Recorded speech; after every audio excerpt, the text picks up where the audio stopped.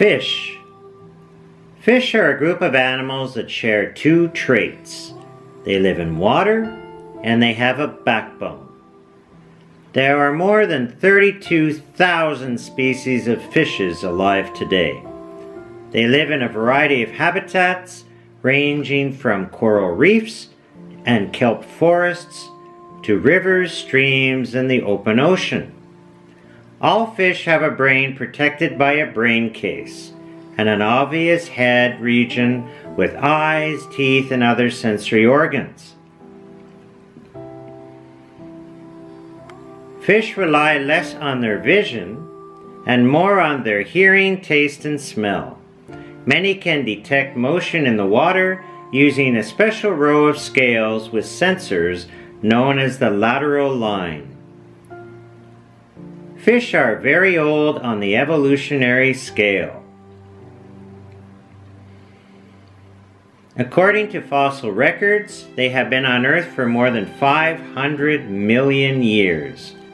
Here are some fossils of an ancient armored jawed fish, a lungfish, and an ancient bony fish.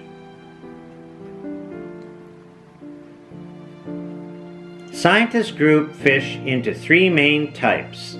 They are divided into these groups because of the structure of their mouths and the types of skeletons they have.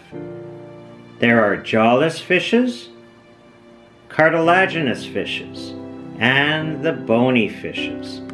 All three types are cold-blooded. This means that they can't control their body temperature internally. Their body temperature is similar to the temperature of their environment.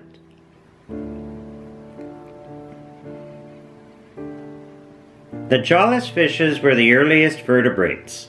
Hagfish and lampreys are the only living kinds of jawless fishes.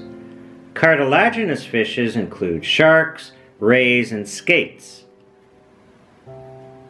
Trout, goldfish, tuna, clownfish, and catfish are all types of bony fishes. These are the most familiar types of fish.